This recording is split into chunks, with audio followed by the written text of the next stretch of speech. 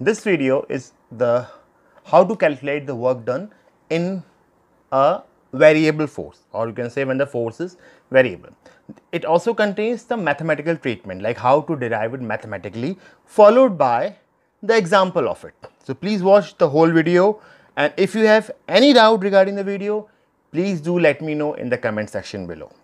And if you like my video, please do like and share my video and also subscribe to my channel and also press that bell icon so that whatever I upload, you get the notification first. So I'm Dinesh, you're watching Dinesh Nayal classes. So let's start with our class today. Work done by a variable force.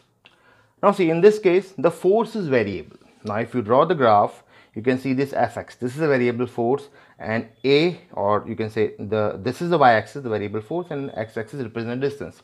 Here a and b represent the display the distance or you can say displacement from like the total displacement from a to b and this is like this graph represents the variable force. Now the work done to calculate the work done in this variable force is actually W is equals to the area under A, B, C, D, A. A, B, C, D, A means the work done will be area under this graph. So hence work done by a variable force is numerically equal to the area under the force curve and the displacement axis. Okay. Now here is some mathematical treatment for work done by a variable force. Now look at this diagram. Suppose we have to calculate the work done in moving a body from point A, this is point A, to point B, this is point B. Now, you can consider this as SA, consider this as SA and this is SB. Okay.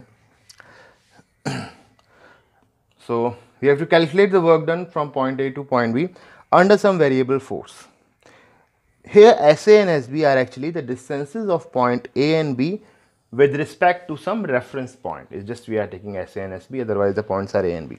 At any stage suppose the body is at P where the force on the body is F. The body is at P, the force is at F. Under the action of this force only you suppose that the body undergoes an infinitesimally small displacement PQ. So, this is that displacement PQ which is represented by ds. Hmm? Now, during such a small displacement, we assume that the force to remains constant. So, basically when displacing from P to Q, we suppose that the force remains constant. Or during the displacement. Ds, the force is constant.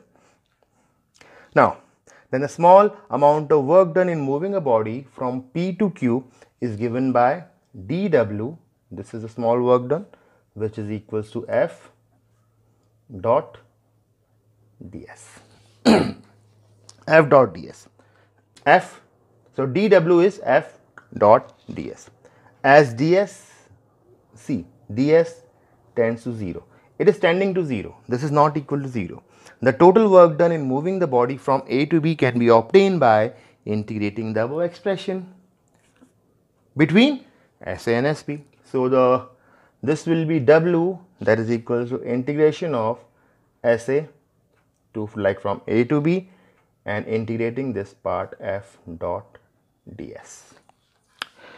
For an example, now for example of the variable force, we considered a block attached to the spring the force on the block is k times the elongation of the spring. We know that k is what? k is the spring constant. As the elongation changes with the motion of the block, therefore, the force is a variable. So, this is an example, example of a string, spring sorry is an example of a variable force. Okay, now let's do an illustration. Now consider a force F which is 10 plus 0.50 x x on a particle in x direction where F is in Newton and X is in meter. Find the work done by this force during the displacement from x equal to 0 to x equals 2 meter. Now see here what is F given? F is actually 10 plus 0.50x. Now this is given to you. Now small amount of work done in moving the particle through a small distance is what? dx, the small distance is dx. Now we can we know that dw is what? dw equals f dot dx which is equals substituting the value of f 10 plus 0.50x dot dx okay now the total work done the total work done is what is the total work done so this w equals integration of x equal to 0 x equals 2 so this is 10 plus 0.5 x dx. So this is the expression for the total work done. Now integrating this part. So by integrating you know this will become 10x 10x plus this will be 0.5 x square by 2 from 0 to 2 okay now this will be 10 of 2 minus 0 plus this is 0.5 by 2 which is 2 square minus 0.